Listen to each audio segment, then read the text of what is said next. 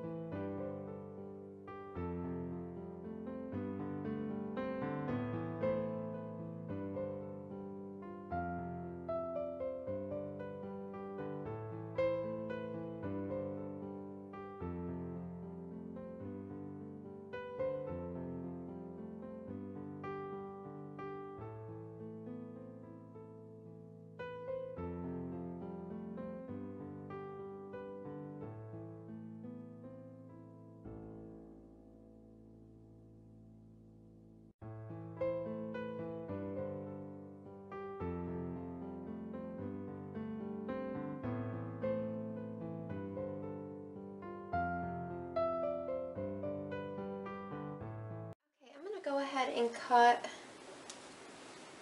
warm vanilla sugar. Look at the inside of that. Isn't that awesome?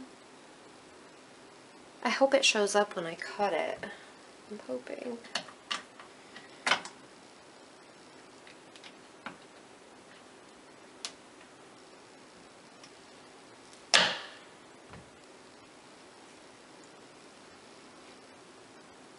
It's kind of cool.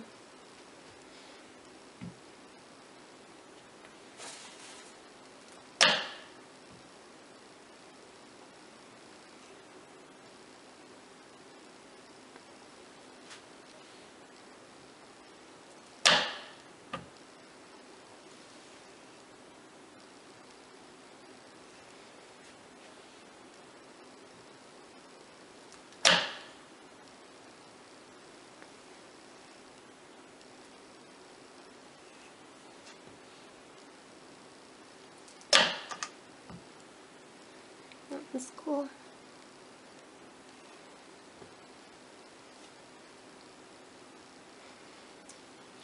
The end that off. Alright, this is an inside one.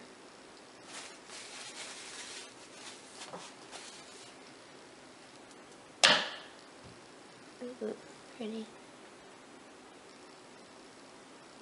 Looks like an elephant and an